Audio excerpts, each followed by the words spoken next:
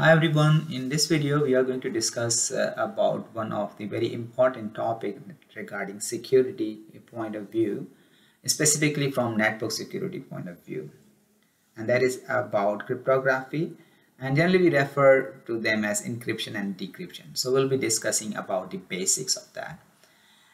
And to illustrate the idea, let's suppose that we have one sender and we also have a receiver and let's say this sender has got a message and this sender wants to send that message using wired or wireless medium. So for example i have taken a wireless medium through which the sender is sending the message to the receiver. But there are always a chance that there can be a third party which we call as adversaries.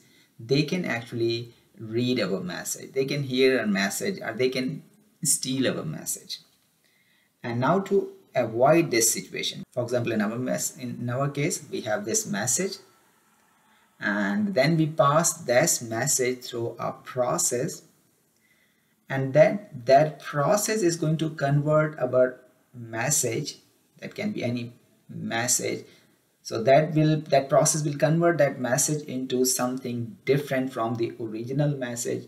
I'll say we call that it will convert the original message into a code.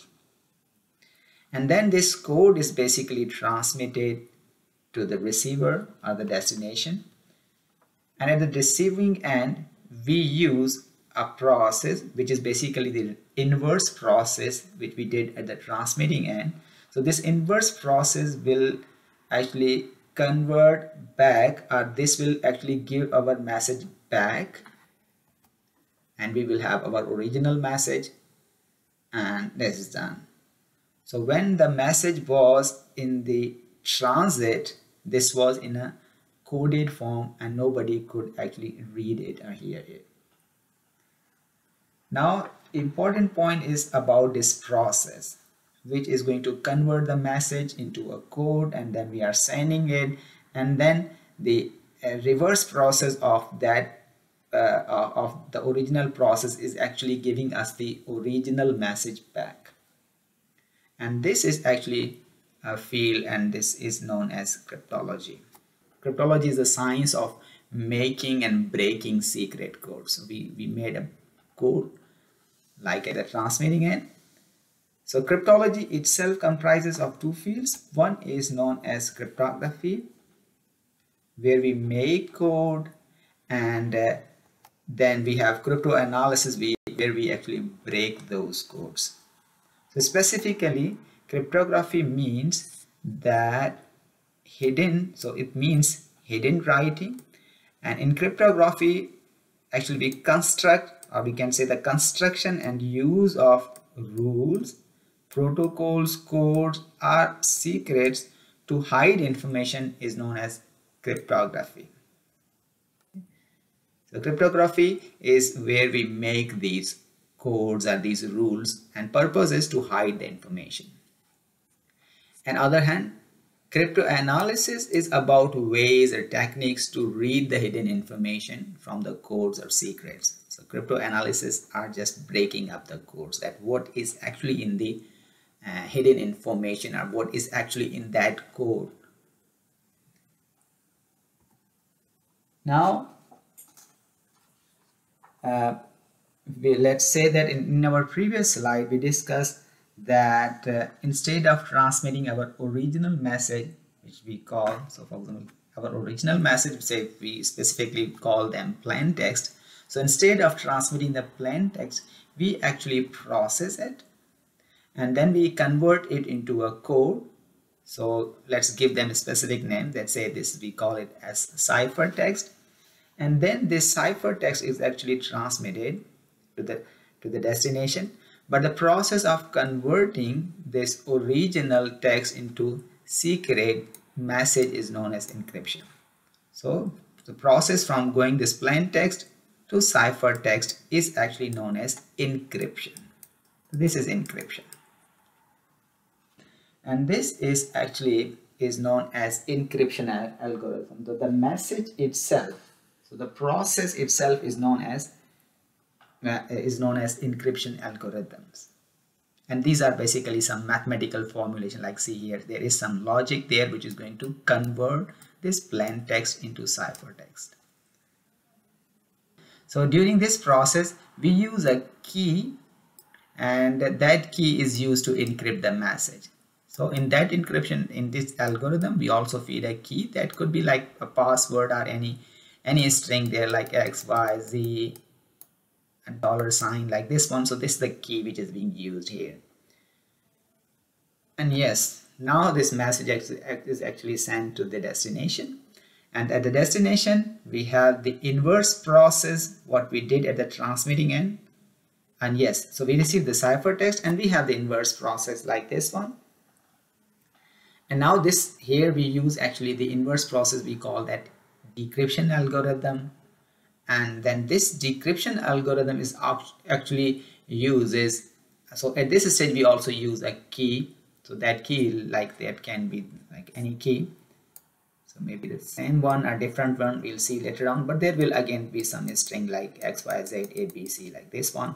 So we use key to decrypt the message. And finally we get the plain text which was actually sent see this was the actual message sent and finally we got our actual message at the destination. But when the message was transmitted in between transmitting and receiving actually this code was sent not the actual message so that no third party should be able to read our message. You want to avoid this situation. And now this this process actually let me remove it the process of converting this ciphertext back into the original message is basically known as decryption. So this process is decryption on this end we have decryption and on this end we have actually the encryption of our message. And then we have in between we have the code not the actual message. Now as we saw that the actual magic eh, lies in the algorithm in the encryption and decryption algorithm where we are going to generate the, the code.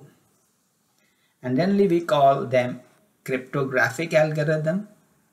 But when we are just converting text messages or some plain text messages, specifically in computer communication, we call them like uh, encryption algorithm. So generally, cryptographic algorithm is specifically encryption algorithm and these algorithm are actually defining the steps to encrypt and decrypt the plain text. Okay.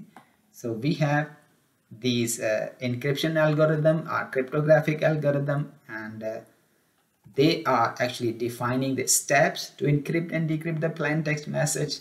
And these algorithm itself are divided into two categories. So first category is known as symmetric algorithm so we can say the symmetric encryption algorithm or symmetric cryptographic and algorithm. And in this case, okay, so one is symmetric and second one is asymmetric. And so in asymmetric, sorry, in first one, in symmetric algorithm, actually they use the same key to encrypt as well as decrypt the message. So for example, we have this message at the transmitting end, this message so to encrypt this message as well as to decrypt the message at the destination we use the same key. You see we have the same key here to encrypt as well as decrypt the message. So this is actually symmetric algorithm and this symmetric algorithm is actually known as private key encryption. So the second name for this can be like private encryption. So I have mentioned this one here. So the same symmetric encryption is also known as private key encryption.